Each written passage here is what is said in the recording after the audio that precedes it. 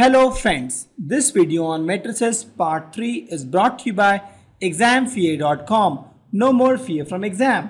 Before watching this video, please make sure that you have watched part 1 and part 2. Let's take some example. We'll represent the data in the form of matrix. We'll represent point in a line. So let's say I have four points, point A, point B, point C and point D. So these four points are in a plane. So it will have some x, y and z. Similarly, this guy will also have some x, y and z. And this guy will also have some x, y, z. And this guy will also have some x, y, z. Because x, y, z coordinates, this guy will have. Let's assume for this point A, the x, y, z is 1, 2 and 3. This guy is let's suppose 2, 5, 6 this guy is 4 7 8 and this guy is let's suppose 8 2 1 anything I can take so these are the four points we have. Now if you see I can represent this in this fashion. I have this x for point A point B point C and point D. So I have four points. I have this x y z. I can represent it in this fashion. Sorry it is not straight this is not straight yeah. Now if you see x is 1 for point a y is 2 and z is 3 similarly for b it is 256 and for c it is 478 and for d is 8 2 1 so this is one representation where my horizontal are horizontal sets are these points and verticals are x, y, z coordinates. So if you see there are 1, 2, 3, 4 sets horizontally, this is 4 into and they are 1, 2, 3 vertical sets, this is 4 into 3. You can also represent this matrices in the other way around where I will put uh, A, B, C, D in this uh, line and X, Y, Z point in this line. So what I'll get here is this kind of set where x for point A we have x is 1, for point A y is 2, that is 3. For point B it is 2, 5, 6, for C it is 4, 7, 8 and for D it is 8, 2. So this matrix if you see there are 1, 2, 3 horizontal lines, 3 into 1, 2, 3, 4, 4 vertical set, so 3 into 4. So both are matrix representation for this data. And the data is there are four points A, B, C, D on a plane. Since it is on a plane, so I have X, Y, Z coordinates. So for this data, I have two mathematical or matrix representation of this data. And why we convert this into this data?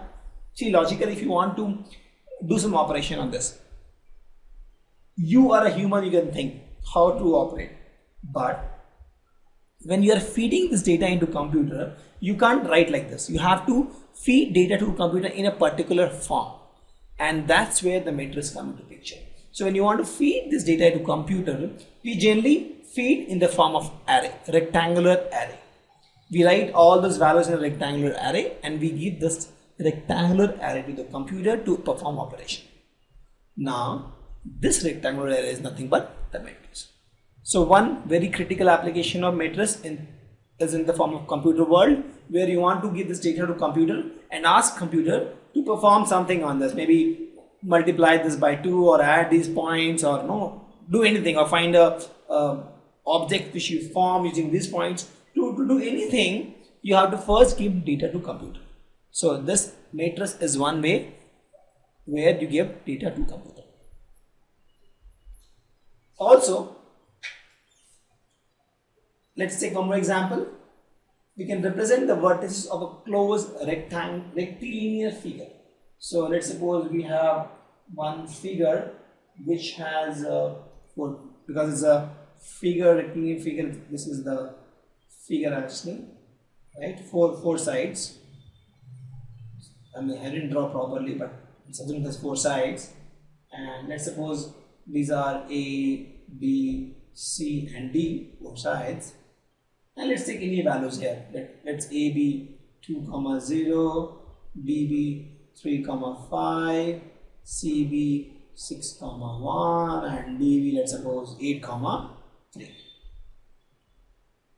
now this data also if you want to now present to computer you want to find the area of this or you, know, you want to find the perimeter of this. So you can do all this thing manually but if you want to give this data to computer to perform operation what you have to do is you have to convert this into a matrix form and then give it to computer so now let's again convert this into matrix form so one option we have is again same way we have this point A, B, C and D and these are our vertices. So let's draw a matrix like this. Correct? A for A point X is 2, Y is 0. For B it is 3 comma 5 you can see. For C it is 6 comma 1. So this 6 1 and for D it is 8 comma 3. So this is one representation and here if you see 1, 2, 3, 4 horizontal sets. So 4 into and there are two vertical sets 4 into 2. We can also represent this similar data in this fashion where we have x and y as the points and a, b, c, d are my x, y as the coordinates and a, b, c, d are points in this fashion. So here for point a, x is 2 comma 2 and y is 0 for B it is 3 5. So this is 3 5. For C it is 6 1. So this becomes 6 1. And for D it is 8 3. So this is 8 3. And if you see this one, they are 1 and 2 horizontal sets. So this is 2 into 1, 2, 3, 4 vertical sets. 2 into 4. So these are my two representation or two matrix representation for this data and this data we can feed to computer and we can work on the data. So please understand why do we need matrix because we need to represent such data, such real data where we have no points or coordinates of a rectilinear figure or uh, five or six different uh, points on the plane. Such kind of data when we want to feed to computer, in that case we need matrix. And here are the two examples where we have converted the real data into matrix form. So either of these is true. In this case also either of these is true. Let's take some more example. So we have the information regarding the number of men and women workers in three different factories. Factory 1, 2 and 3 and it's factory A, B and C actually. So I'll make it A, B and C. Factory A, B and C we will represent this data in the form of 3 cross 2 matrices. Please note they have given the order. So for this data we know that there are two possible options. Let's let's draw both the possible options here. So we have factory we'll draw here A, B and C and this is men, this is women. And let's draw it. For factory A, it is 23 men and 34 women. For factory B, it is 25 men and 35 women. For factory C, it is 12 and 54. If you see this, how many number of horizontal sets? 1, 2 and 3. So this is 3. Number of vertical sets? 1 and 2. This is 3 into 2 order matrix. We can also write this matrix in this fashion where we have this men and women. And then we have factory A, B and C. And then we see for factory A the men is 23 the women is 34 so for factory A the women is 34 please note the way I'm doing for factory B the men is 25 for factory B the men is 25 this is nothing but the point which means like this for factory B, the women is 35. So you take factory B and we take women, we get this point. So that is 35. For factory C, the men are 12. Factory C, the men are 12. This point is factory C, men are 12. For factory C, the women are 54. Factory C is this, women is 40, 54 is this. This data, if you see, they are 1, 2 horizontal sets and 1, 2 and 3 vertical sets. So these are two matrix representation I can get for this data. Now the question says we have to write in the form of 3 cross 2 only. So this 2 cross 3 is something which we don't need. We need 3 cross 2 only. Correct? We are done. Now the question says what does the entry in third row and second column? Third row. First row is this, second row is this and third row is this. Third row is this thread. Not talking about second column. First column is this, second column is this, second column is this. The intersection point is 54. 54 is the only digit or only number that satisfies third row and second column. So 54 is my answer. And what is 54? 54 is nothing but women in factory C. So it is women in